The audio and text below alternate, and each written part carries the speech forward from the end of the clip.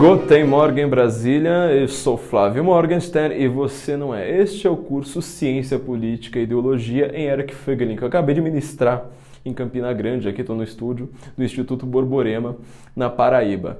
Este curso eu estou explicando alguns problemas do mundo, alguns problemas de ideologia, de problemas de ciência, de ciência política, de como estes termos vão ser definidos, de como é, esses assuntos vão ser trabalhados a partir da obra do filósofo Eric Fögelin. Ele que foi talvez o maior filósofo político de todos os tempos, estudou uh, toda a antiguidade, estudou o desenvolvimento da política ali pelo medievo, no renascimento até a modernidade, até esse tempo contemporâneo. Nasceu junto com o século XX, né, no dia 3 de janeiro de 1901.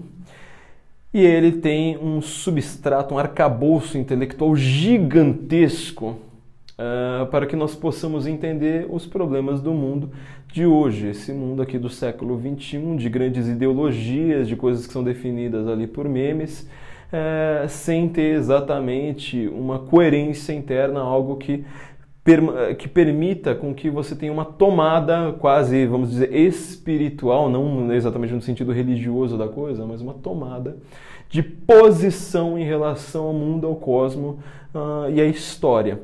Então nós estamos vendo cada vez mais homens que são abobalhados, que eles estão esperando ordens superiores. Elas não dependem mais só do Estado hoje em dia.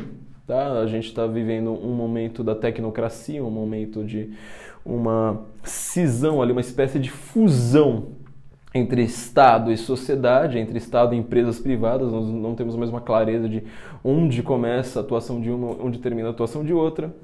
Ah, eu quero usar a filosofia de Eric Fögelin, é, sobretudo seu livro The New Science of Politics, para analisar esses problemas. Então eu espero que vocês gostem. É, o, o, link para compras está aqui do lado. E eu tenho certeza que vocês pelo menos vão é, ter uma, uma visão um pouquinho mais ampla a respeito dos problemas do, do mundo atual, de como eles surgiram. Então agradeço a todos. Guten Morgen, Brasília.